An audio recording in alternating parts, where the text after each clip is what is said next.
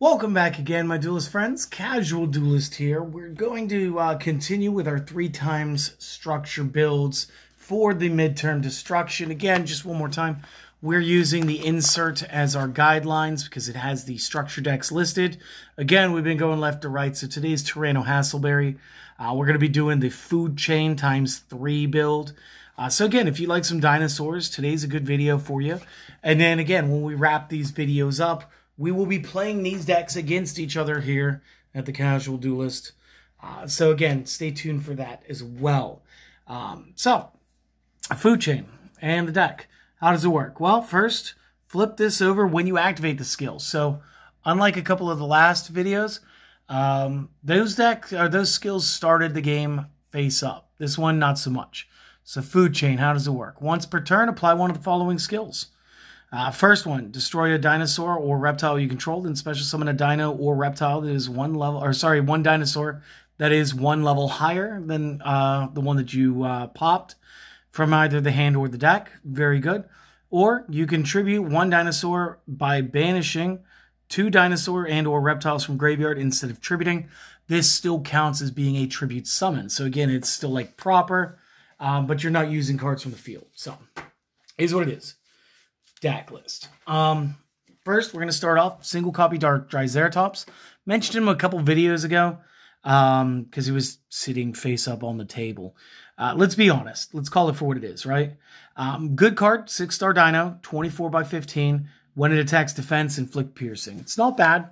It's not an end all be all, and we don't really use the climb so much as we use the uh, last effect. Next up, two copies Destroyersaurus. So again, much in line with every one of the field spells searching monster cards. Um, you can discard this from the hand to add the named field spell from deck to hand, this time Jurassic World. And the stats are kind of funny because they're always a four star. Um, and when the field spell's up, their stats always equal 21. So Destroyersaurus starts at 18 because Jurassic World is going to give us three. Um, just kind of fun trivia. Uh, maybe you don't find it fun. It's trivia. Uh, next monster, three copies Dyna Base, and I've been looking forward to playing this. So, if your life points are lower than the opponent's, you can special summon this from the hand. Good. During the main phase, you can fusion summon one fusion monster from the extra deck using this card and other monsters from hand and field as material. And each effect is once per turn, but it's not. Uh, you can only use one effect, and it's not like a hard once per turn, but it is a hard once per turn per effect.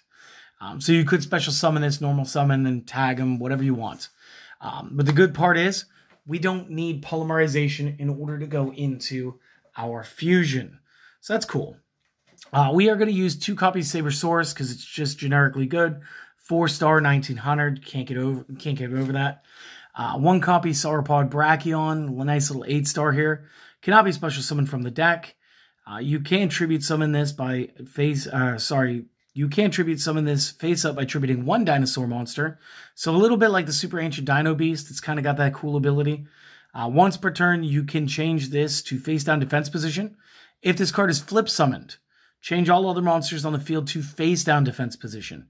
If this card is attacked, any battle damage your opponent takes from that battle is doubled. Um, again, I would love to play this with other cards. I just don't want to tell you guys what those cards are quite yet uh, because it's a secret. It's cool. It's awesome. I want you guys to uh, be proud of me. Um, and then last up, we're going to be playing two copies Ultimate Tyranno. Uh, just to round out the, the whole deck, we got to have the boss monster. Eight stars, 3,000 by 22. Um, this card can attack all monsters the opponent controls once each. During your battle phase, if you control one of these monsters that can attack other monsters other than named card, cannot attack. So I would assume, and again, I'd love a ruling from you guys.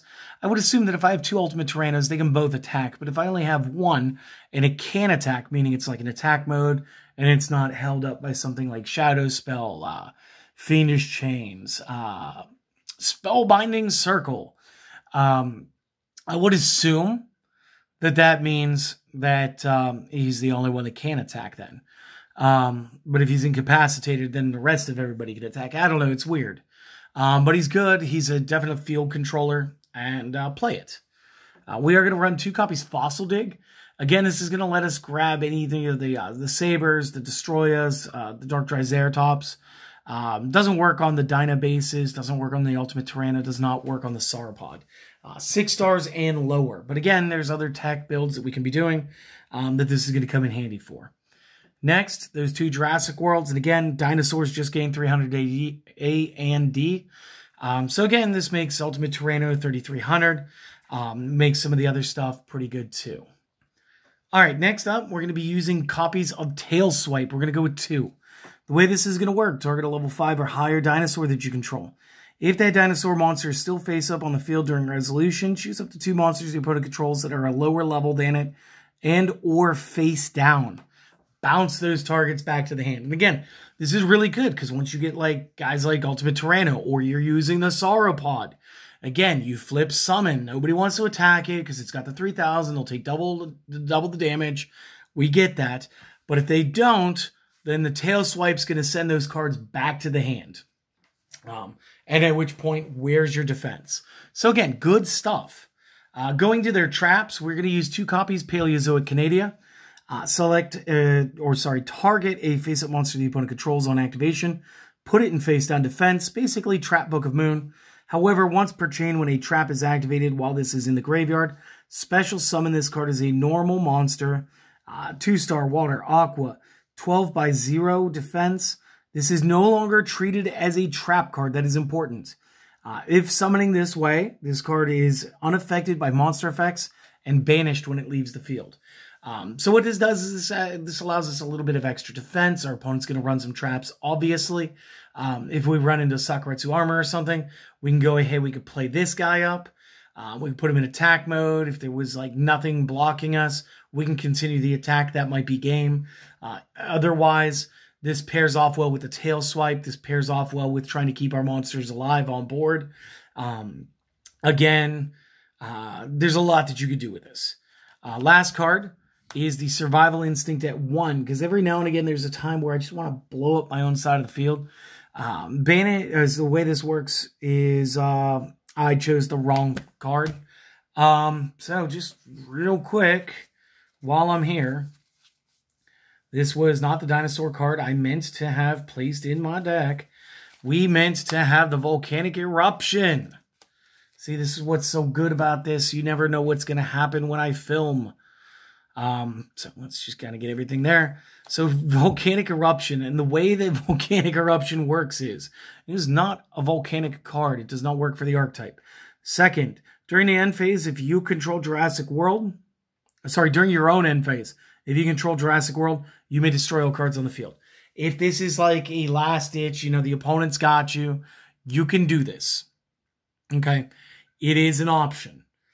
I, I messed up. The survival instinct is if you're playing like Tyranno Infinity and you want to go ahead and you gain a bunch of life points by banishing a bunch of different dinosaurs, then you can do that. You can make it like a really huge dinosaur at four stars. It's cool. It's everything. Um, volcanic eruption, not survival instinct. That's my bad. Um, extra deck, three monster cards. It's going to be three copies of Dyna Tank. And the way Dyna Tank works, if you guys missed the Speed Duel spotlight on this, this is actually going to be a seven star. So, like, you could food chain the Dyna Tank into the next one, um, which is actually kind of stupid and insane because I'm going to explain that move here too. Um, so, what this is is one machine plus one dinosaur. So, this is going to be Dyna Base plus anybody. Uh, gain attack equal to the original attack of the dinosaur used for the uh, fusion summon. Uh, gain each of the following effects or use each of the following effects only once per turn. When a card or effect is activated that targets this card on the field, no other cards. Quick effect, target another appropriate target, and then uh, that effect is now going to target that card. Uh, if this card in its owner's possession is destroyed by an opponent's card, you can special summon a dinosaur uh, monster from your graveyard. Um, so this is good. You basically you want your opponent to go ahead and break this, so you can just throw back another dinosaur. Um, and then oh, cheesy Pete's. Um, I'd like to apologize for that. Um, but if for some reason you needed to, you could blow this up with Food Chain to get to your Ultimate Tyranno if your opponent activated something like, and I don't remember right now, Spellbinding Circle might be in this uh, format. If they hit you with a spellbinding circle, you could food chain into a Tyranno. The only problem is you are not going to get, and I need you to understand this, you're not going to get the dinosaur card back from the Dyna Tank Destruction.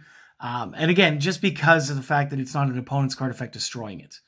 Um, but generally speaking, if the mo- opponent's monster card destroys it, or you know, like battle or effect, as long as it's the opponent's card, you can jump another dinosaur back. Doesn't even have to be the same dinosaur that you used. Um, so that's it. That's the deck. I'm going to move this over to here. Since I already shook this all up, I'm going to go ahead and do that. This way, this is like good. Go ahead, screenshot, uh, whatever you guys want. Um, again, sorry for the hiccup, and hopefully you guys enjoyed this. And the next time you guys stop by, I'm going to have the fossil build ready for you.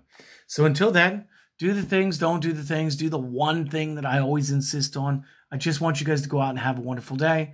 Just so just go ahead, just focus on the mental health, focus on self for a night, and uh, just enjoy yourselves, all right? Hope to see you guys again next time. Later.